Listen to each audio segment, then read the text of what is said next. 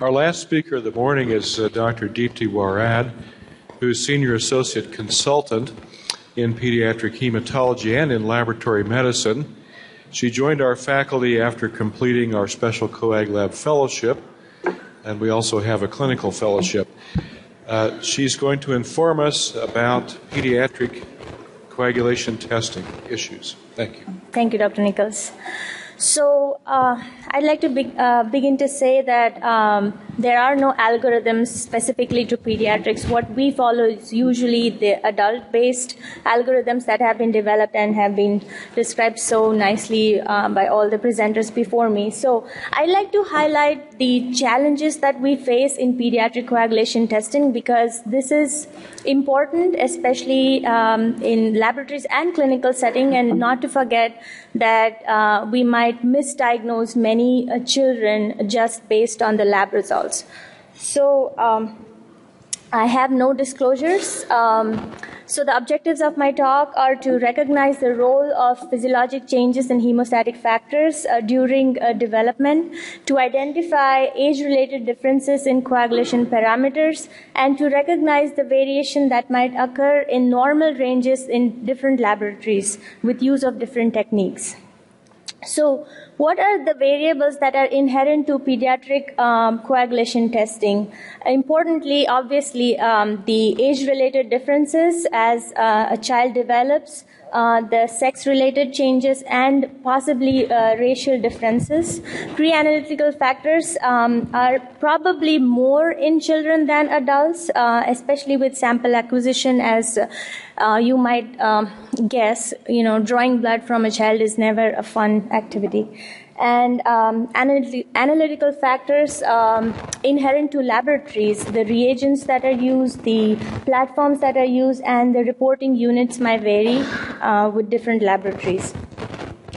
So, uh, developmental hemostasis, you might be familiar with this term. Uh, this was first coined in the late 1980s by Dr. Maureen Andrew, um, who uh, published uh, three landmark papers in the late 1980s um, using a single large cohort of Canadian children. Um, 137 healthy preterm, 118 healthy term babies, and 163 children between age 1 and uh, 16 were recruited for this study, and they were able to study a majority of the coagulation proteins as measured by functional assays, and they were able to establish reference ranges for these populations and were able to show that they varied significantly in an age-dependent manner.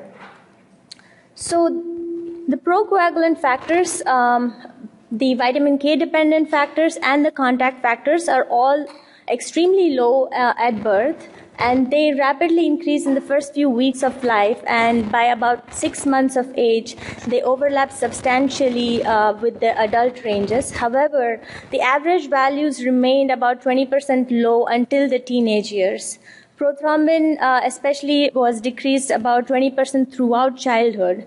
A significantly, uh, factor uh, 5, factor 8, factor 13, fibrinogen, and von Willebrand factor were noted to be higher than the adult uh, values at birth.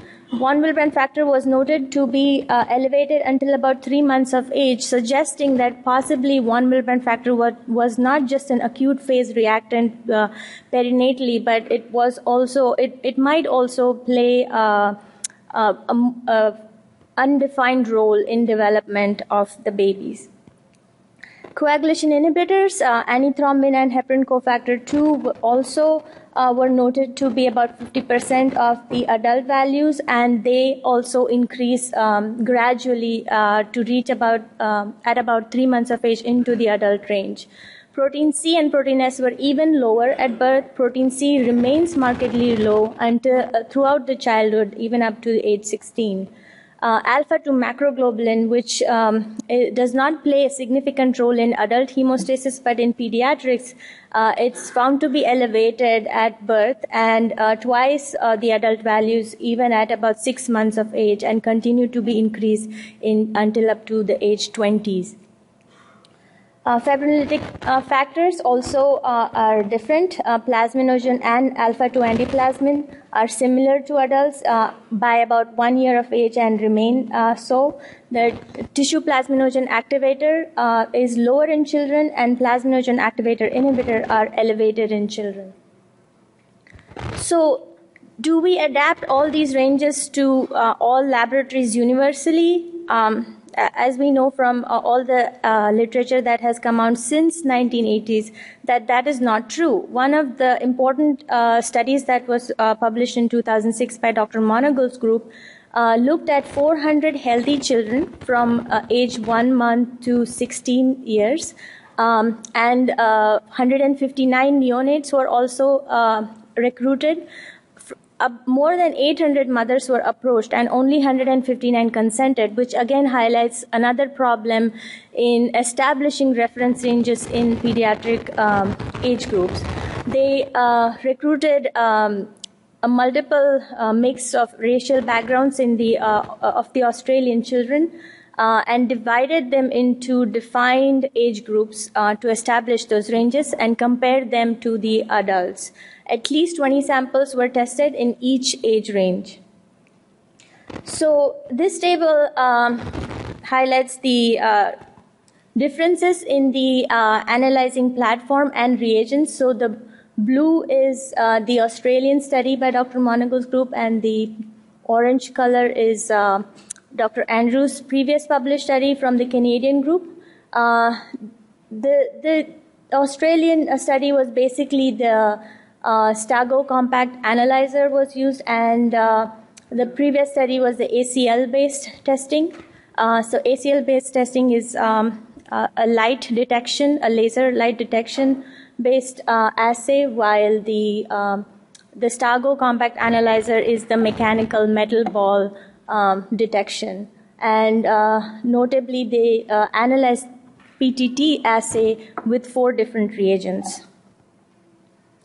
So again, keeping the same color theme, um, looking at the different screening assays and fibrinogen. Uh, so, sorry, um, APTT uh, assays. Now, again, significantly different from previously dis- uh, published studies. The APTT was noted to be um, prolonged compared to the adults throughout the entire childhood uh, age groups. Uh, whereas uh, this was not seen in the Canadian study, it was only seen in the neonates. Um, PT was also different. In the um, Australian study, it was again elevated compared to the adults, except in one age category, whereas in the uh, Canadian study, it was uh, not different even from the neonatal age group, and there were some differences noted in INR as well. Fibrinogen uh, there wasn't much difference except in the one month to one year and one year to five year age group. Uh, they were otherwise same in all age groups. So, um, although we see that there are differences in the screening assay values reported, there were similarities to the Canadian study. Uh, just, uh, just as previously published, the vitamin K dependent factors were lower than the adult age and remained low throughout childhood. However, they proportionately increase as the child uh, grows through um, through development. Factor VIII was uh, elevated at birth. However, they noticed a trend where uh, there is a nadir at about age one month to one year, and then gradually increase above adult uh, above to adult values. Um, the differences that were noted from previously published studies, the factor 12 uh, levels remained low throughout childhood. This was not noted in the Canadian study. And two diff- uh, the, the other data that they studied in this uh, uh report, which was not studied in the Canadian study, were D dimers. D dimers were noted to be markedly elevated in newborns and remain elevated throughout childhood uh, tissue factor pathway inhibitor and the endogenous thrombin potential were significantly lower in children.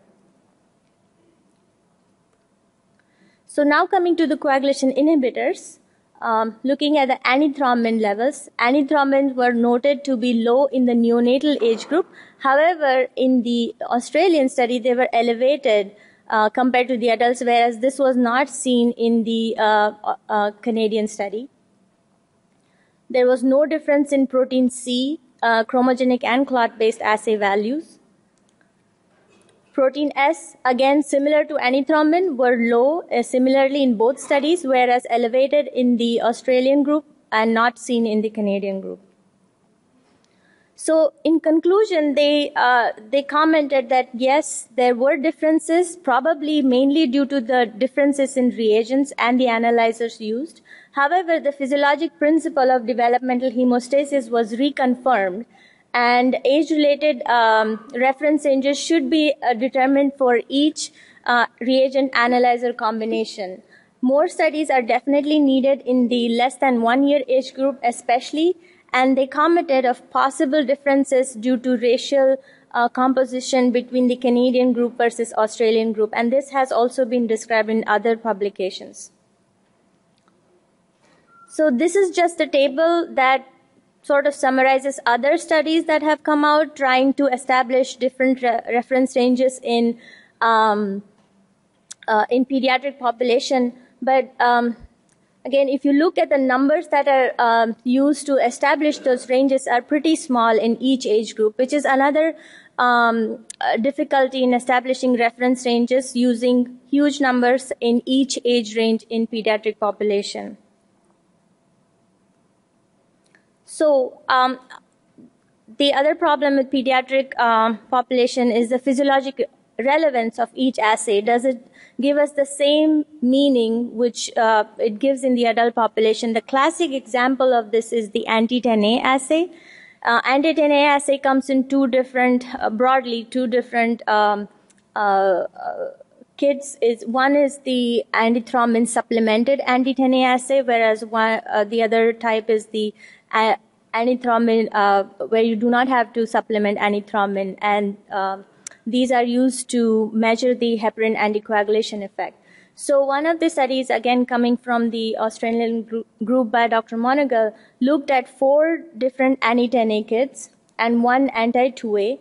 Um, they immune depleted the test plasma of antithrombin and purified antithrombin was added at six different concentrations.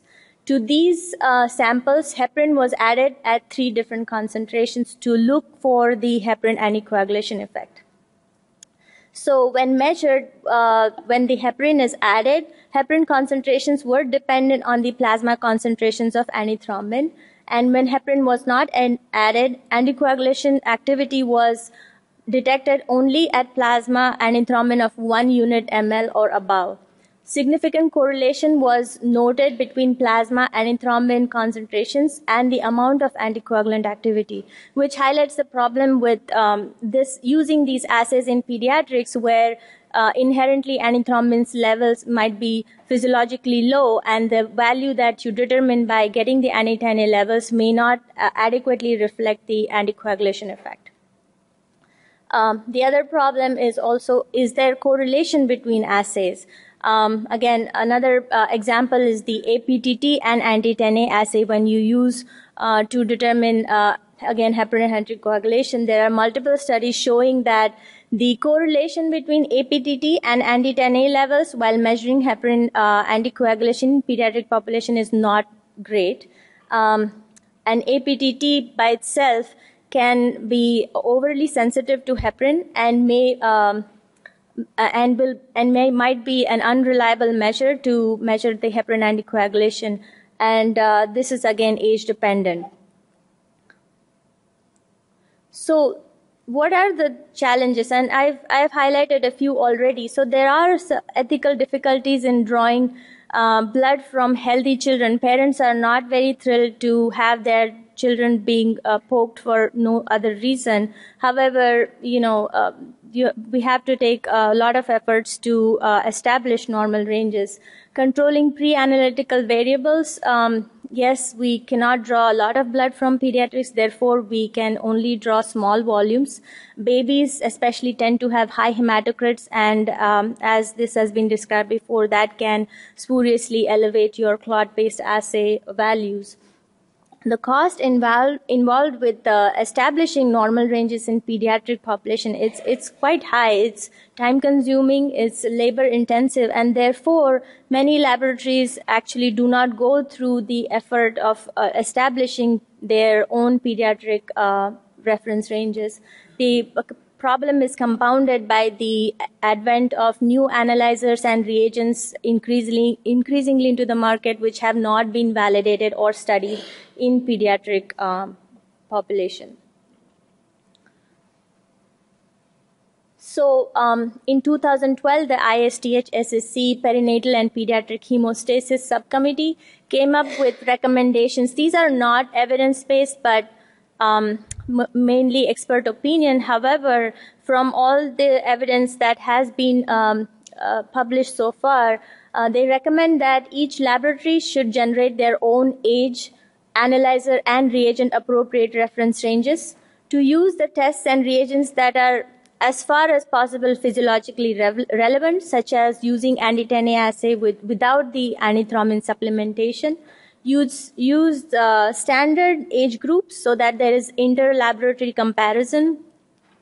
Uh, if they're unable to generate their own reference ranges, laboratories should use the published uh, ranges for their analyzer reagent combination if available. If they're not available, then they should consider referring these samples to laboratories which have their own uh, pediatric reference ranges. So, in summary, children are not mini adults. Um, the hemostatic uh, system evolves with developmental stages. Um, children have physiologically lower procoagulant and anticoagulant factors, however, they are in a balance. Um, an out of range value, which may not be essentially abnormal, may actually be physiologic, and the child might actually be normal otherwise uh, the assay reagent and analyzer variation should be considered by clinicians while interpreting these lab results. And all diagnostic uh, laboratories should make the effort of generating their own uh, pediatric reference ranges. So that is my talk, and uh, I'm open for questions. Thank you.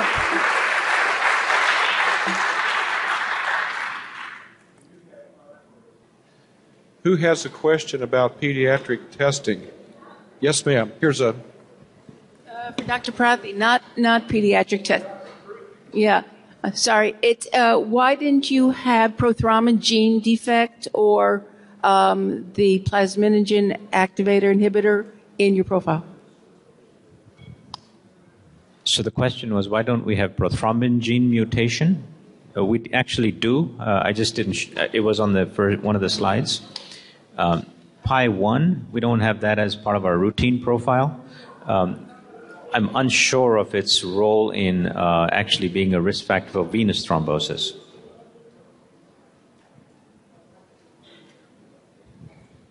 Questions for Dr. Warad? I'm going to offer one to her. I just told. Would you go? Or I'll, I'll, I was going to ask Dr. Warad with the recommendations that every lab should have its pediatric reference range. What is it at Mayo Clinic?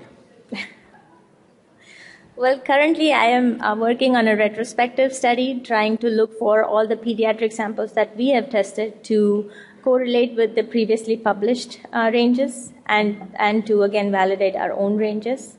And the prospective study is incoming. So we're working on it, but it's very challenging to do this uh, for laboratories. Any other questions? Thank you very much for your participation.